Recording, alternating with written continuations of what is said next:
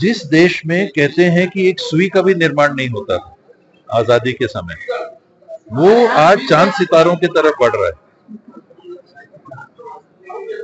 जो बातें प्रधानमंत्री जी और उनके साथ के लोग कहते हैं, उनकी परिकल्पना देश की आज़ादी की 2014 से।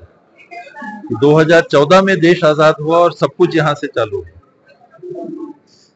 उन्नीस से लेके 2014 तक देश ने जो काम किया जो बुनियाद रखा, जो ढांचा बनाया, जो तरक्की की, जो विकास किया, जो बाँध बनाए, जो फैक्ट्रीज बनाए, जो अधोसंरचना का विकास किया, जो पढ़ाई के और रिसर्च के और एटॉमिक रिसर्च के और अंतरिक्ष के रिसर्च की संस्थाओं को स्थापित किया, वो तो थे ही नहीं। ये ऐसे ही आगे बढ़ गए ज़ीरो से। इनकी सोच ही हमेशा से ये रही है कि हमने क्योंकि जो जो नहीं किया, आज़ादी के पहले हम कहीं नहीं थे। सबूत हैं। अब लिखित और आ जा रहे हैं सबूत सामने कि इनने बल्कि विरोध किया, अंग्रेज़ों का साथ दिया। उनके वंशज आज एनडीए के माध्यम से सत्ता में है, जिनकी एक सोच थी और जिनके एक क्रियाकलाप थे आज़ादी के पहले वो पहले का बोलते ही नहीं।